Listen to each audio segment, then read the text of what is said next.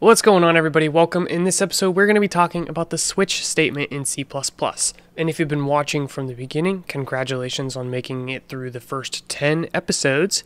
So I knew you could do it. I believed in you. Honestly, though, I didn't think you'd get this far. So congratulations if you did. We're going to continue working on our C++ skills. Let's jump into it. But first, a quick message and thank you from our sponsor, Embarcadero C++ Builder the IDE that we have been using for this series. This gives you the full suite for C++ development, whether that's debugging, GUI development, or mobile development, you can do it all with C++ Builder. I'll drop a link to the free community edition down below. So with a switch statement, you will give it an expression or a variable, and it will do different things depending on what the value of that variable is. This is similar to the way an if statement works with the different else if branches, allowing you to do different things, and these all evaluate to true or false. The difference is that instead of using true or false, we're going to use different values. So you might have 1, 2, and 3. So this is very nice when you're working with something that's going to have a very clear numeric output. So if you have a menu, choose an option, 1, 2, or 3. Hey, this would be a good time to use a switch statement.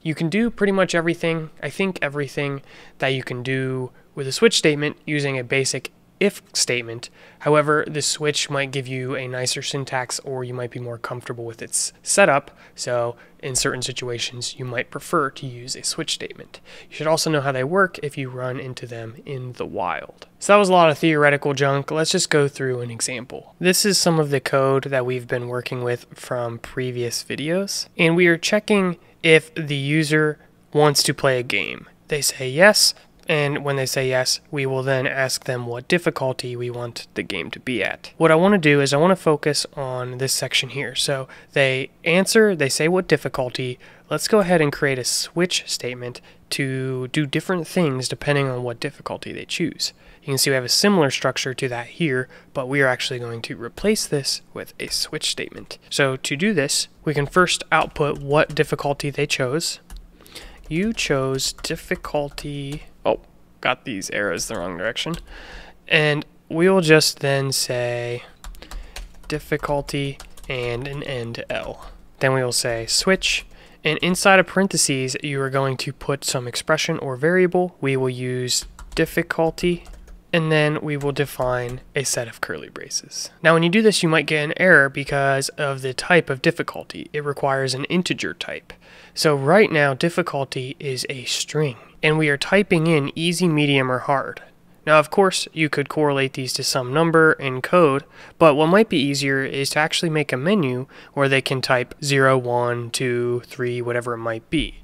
So in that situation, what I want to do is I actually want to change this from string to an integer. And now, where we ask them easy, medium, hard, we can give them numeric options. So we can say 0 is easy, and then we will do a backslash n and say 1 is medium, a backslash n, and then 2 is hard. And then after hard, we will, uh, let's just go ahead and remove these parentheses. It doesn't really make sense in this case. So we'll just say what difficulty, and then on a new line, we'll say 0, 1, and 2. And then afterwards, we will just create a new line so this is a little hard to read. Let's go ahead and just test to make sure it works the way I'm thinking. And then I might just rearrange how we actually have the code so it's a little bit easier to read. Do you want to play a game? Yes. Have you beat the game? No. What difficulty? 0, 1, and 2. So it looks nice here. However, if you don't like having code that looks like this, what you could do is you could just break this out into multiple statements. So we'll have one cout here, and then we will create a new cout on the next line. And you can have as many as you want whatever makes it easiest to see so let's go ahead and put easy in one cout and we'll do another one for medium and then a final one for hard. So two is hard and that should turn out to look exactly the same way but it's a lot easier to read in our code Yes, I want to play a game. No, I haven't beat it, and it works. Great. So now that we are getting an integer as an input, the switch statement is no longer complaining. And inside of the switch, we can have different cases for whatever they've said.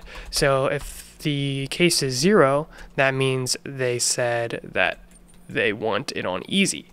And you'll put a colon, and this is going to be considered easy. Inside of the case, I want you to say break. Each case is going to have a break statement, and I'll explain why in a moment. So we'll have case 0, case 1, case 2, and then you can also have a default case, which is everything else. And we will include the break for that as well. Before the break, you can put any custom code that you want. So this is similar to within the curly braces of an if statement, but we don't actually have to have the curly braces. So we could say, cout, you chose easy. So in this situation, it'll only say that if the user chose zero, which is easy. The break will actually jump out of the switch statement and go to the next line. If you don't have the break, it'll fall through and execute any of the other code in these other cases. It's a strange behavior, but it's the thing that you should definitely be familiar with. So let's do something very similar for these other cases. For case one, we will do medium. And then for case two, we will say you chose hard.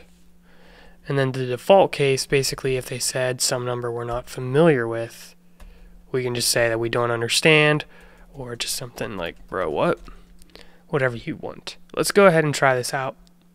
Yes, I want to play a game. No, I have not beat it. And we will choose one for medium. And it says you chose difficulty one. You chose medium. So it looks like I have two print statements here we can just remove this version since it's an integer. We don't want to uh, print that. Let's go ahead and try it again. This time let's put a different number. I'm just going to fill out these comments if it's uh, helpful. Let's try a number that doesn't exist in this list. Yes, no, I have not beat the game, and then I will say 5. And it says, bro, what? So that is how the default case works. And then the last thing I wanted to show you is if we forget to put the break, what happens.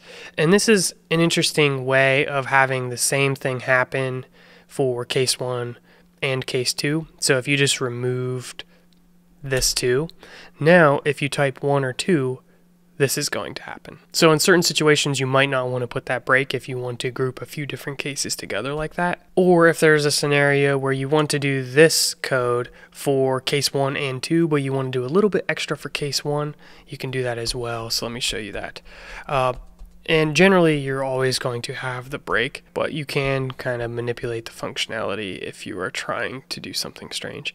But let's try this now and we will go with medium. You can see it says you chose medium, you chose hard. So basically this was executed and then because we didn't have a break, it went down to this next section and then it stopped at this break. So it'll just continue to execute the different sections until a break is hit. That is your introduction to switch statements. Hopefully that was helpful. I'll usually use switch statements if I'm displaying some menu with clear numeric options but overall I tend to prefer if statements. Now you can have expressions in here, so for example difficulty plus 5, obviously that's going to throw all of our numbers off, but that evaluates to an integer, so this will compile and run, but you can't use other data types in here. It needs to be a numeric type or char, which is directly correlated to integers. So that is your switch crash course. Thank you for watching. I'll see you in the next episode.